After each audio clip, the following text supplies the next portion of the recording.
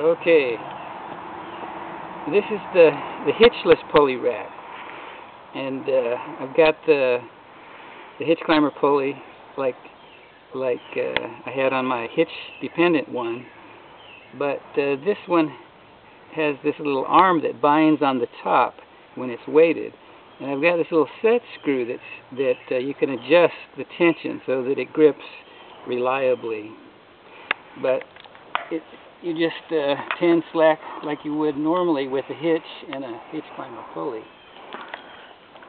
And uh, I'll, I'll ascend a little bit here and show you how it releases.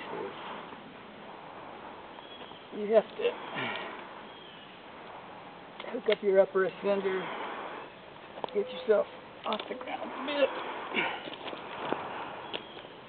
Make sure that your chest attached point here is connected to the hitch climber pulley so that it'll pull it along as you go up.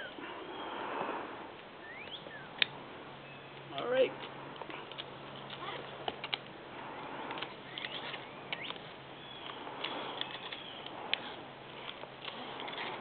Just pulls it along. Very little friction.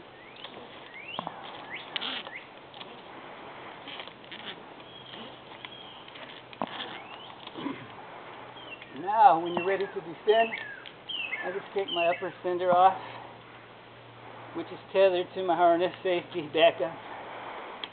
And then, by the way, the tether was suggested to me by Matt.